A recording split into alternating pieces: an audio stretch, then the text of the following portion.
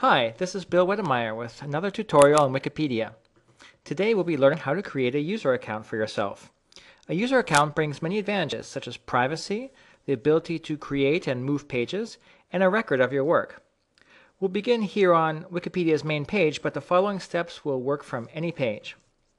Notice the blue link in the upper right hand corner, the one labeled Login, Create Account. Click on that link.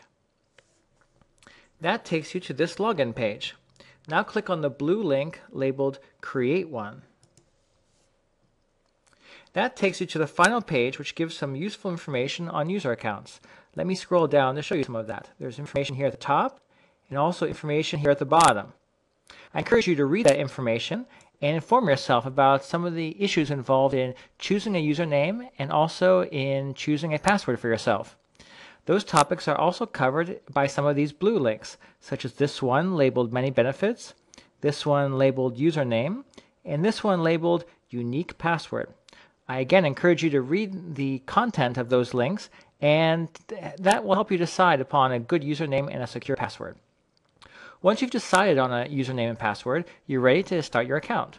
The first step is to fill in this CAPTCHA text box right here with the word that you see above it.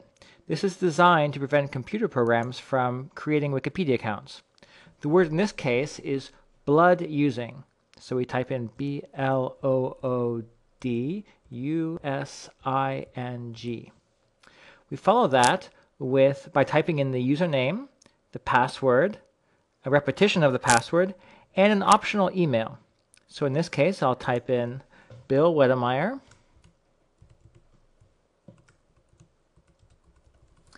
then a simple password. And I'll repeat that same password here. And then an email address, which in my case is proteins at msu.edu.